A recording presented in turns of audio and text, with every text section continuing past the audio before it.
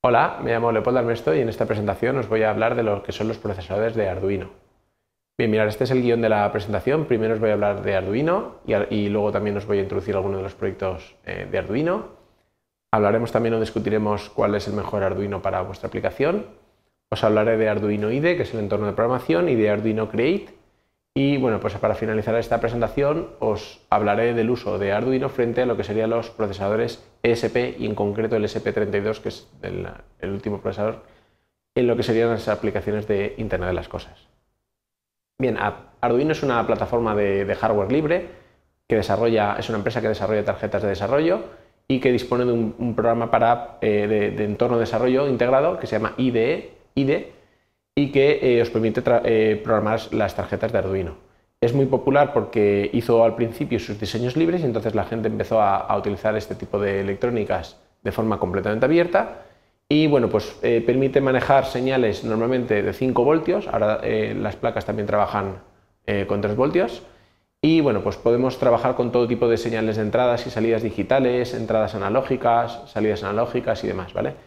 Y en todo esto lógicamente, pues bueno, pues es cuestión de conocer eh, los detalles de cada una de las placas, ¿vale?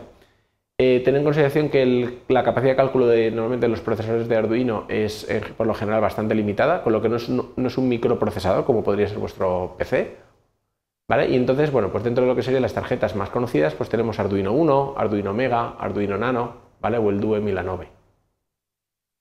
Bien, aquí os muestro algunos de los proyectos de Arduino eh, que considero más relevantes. de hecho, los dos primeros proyectos, estos que veis aquí, corresponden a un curso, eh, un, MOOC que tengo también en la plataforma de edX, que, en el que explico precisamente el cómo fabricar un robot que se llama Dayor, D-Y-O-R, ¿vale? Con lo que podéis buscar información al respecto y, está basado precisamente pues, en eso, en el uso de Arduino. Aquí vemos, por ejemplo, también un proyecto en el que es una araña en la que está basada en Arduino, un dron en este caso. Aquí tenemos un proyecto que tiene que ver con música o un robot móvil o un brazo, un brazo robótico. ¿Vale? Pero bueno, como podéis ver, pues bueno, pues aquí hay uno que tiene que ver con lo que es la automatización de, una casa o un dispositivo portable o un, invernadero, un proyecto que tiene que ver con el, con el control de, de, tráfico, luces o incluso las impresoras 3D. Están basadas ellas, prácticamente todas ellas, en lo que serían los procesadores de Arduino. Entonces la pregunta que lógicamente uno se plantea es cuál es, eh, qué, Arduino es mejor para mí y todo esto lógicamente depende un poquito de la aplicación, ¿vale? Eh, aquí simplemente os describo tres, eh, lo que serían tres familias de Arduino que podéis utilizar para vuestros proyectos.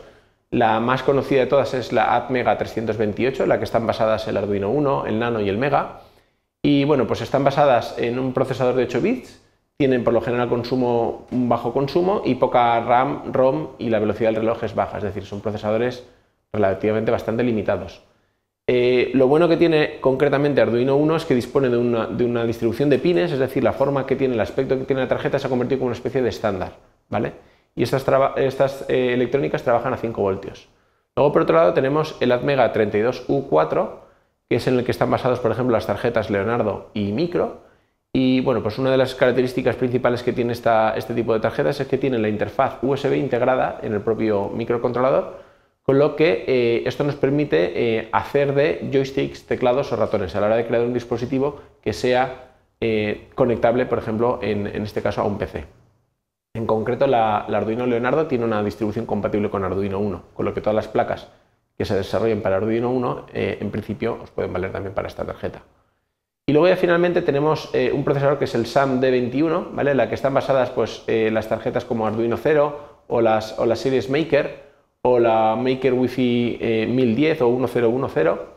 ¿vale? Estos son procesadores de 32 bits, es decir, son procesadores con mucha más, más capacidad, tienen mucha más RAM, tienen mucha más ROM, funcionan mucho más rápido.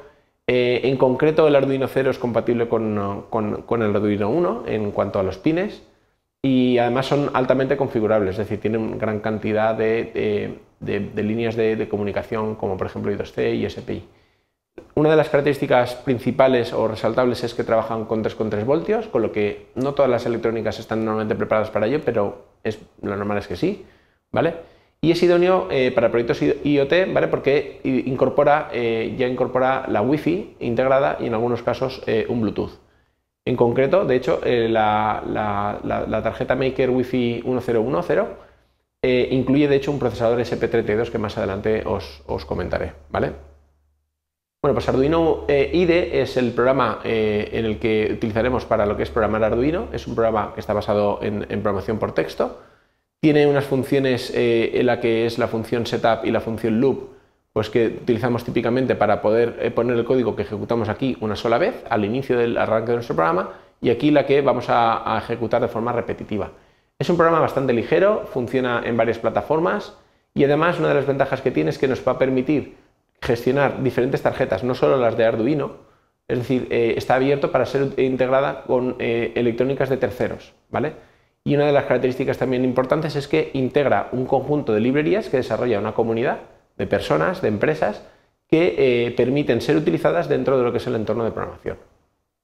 Por otro lado está Arduino Create, es una plataforma online que, ha creado Arduino, pues en la que bueno, pues disponéis, por ejemplo, de un editor web, disponéis de un, tutorial, Incluso disponéis de, un repositorio con proyectos eh, que están relacionados con Arduino y bueno, pues una serie de, accesos y servicios que os pueden ser útiles, como por ejemplo en este caso también eh, eh, ofrece servicios de, Internet de las Cosas para poder publicar y, registrar datos.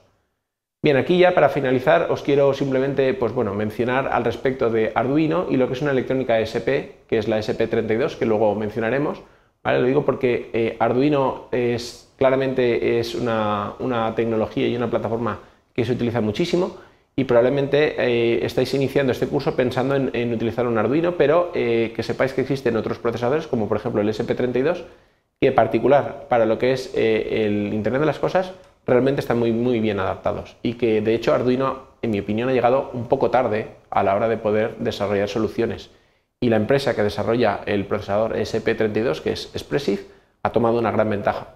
Bien, os dejo aquí de hecho dos eh, entradas con, las, opiniones de, personas en las que eh, discuten al, respecto del, uso de Arduino frente a este procesador, para que las leáis.